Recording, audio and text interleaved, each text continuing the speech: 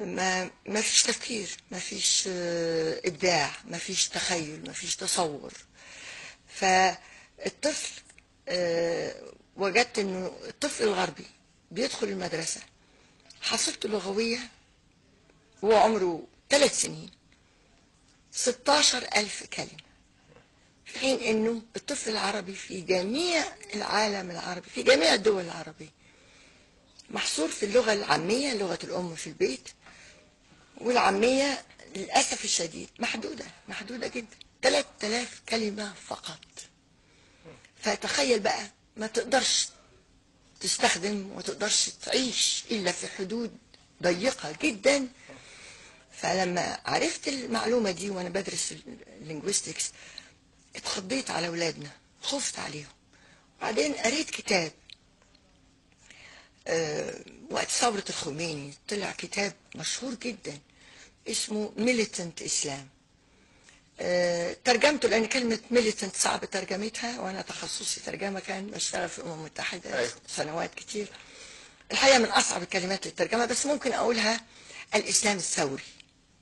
مظبوط. 79 آه 79 ف وإذا بهذا الكتاب اسمه Militant Islam لواحد اسمه جيسون J A S O N فجيسون كتب قال إنه آه، قبل ما ت-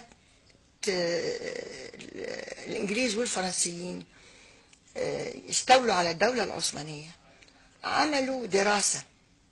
إيه سبب قوة الإنسان الفرد المسلم اللي عنده قوة جبارة؟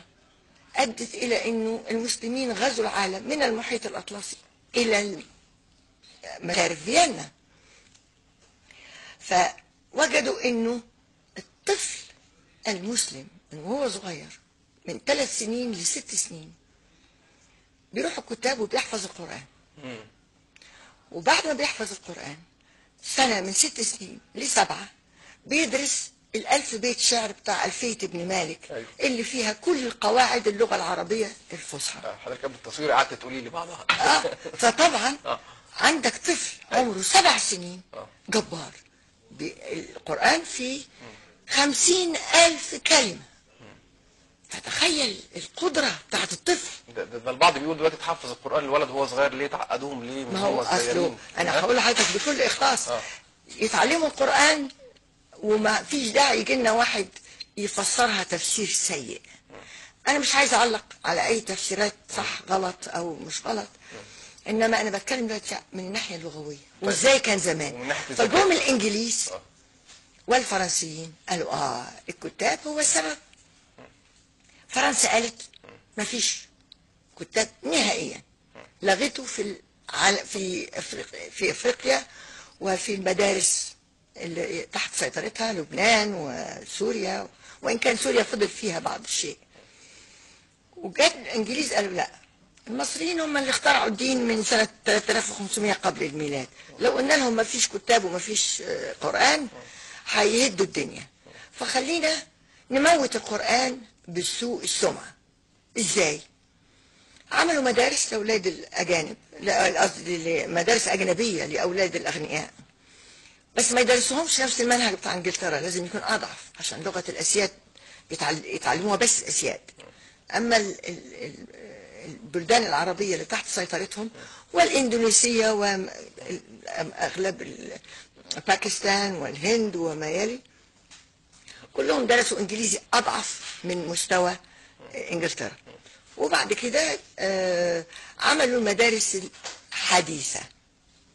وبدأوا يدرسوا الطفل يدخل ست سنين وإيه الكلام ده حرام عليكم الطفل سيبوه يلعب سيبوه يتنطط.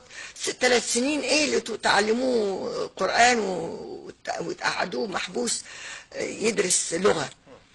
فكانت النتيجة إنه الطفل راحت منه أهم فترة في حياته اللي هو بيتعلم فيها لغة.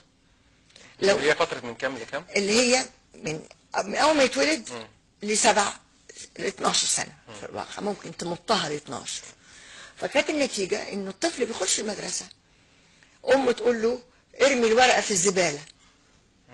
أما يروح المدرسة يقول إيه؟ ضع الورقة في ضع الورقة في سلة المهملات. ف فين دي ورقة ما ما بينطقهاش؟ ضع ما بتستخدمش.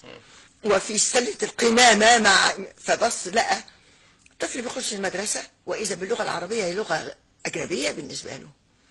ونجحوا الإنجليز في ضياع الفترة اللي الطفل فيها بيتعلم اللغة الفصحى اللي كان ممكن يتكلمها بطلاقة زي ما أنا وأنت بنتكلم العامية. ضاعت عليه. فطول عمره ما بيقدرش يتكلم اللغة الفصحى. ضاعت منه يتكلمها بطلاقة كانت نتيجة كمان ضاع منه أهم حاجة في الموضوع الخمسين ألف كلمة. حتى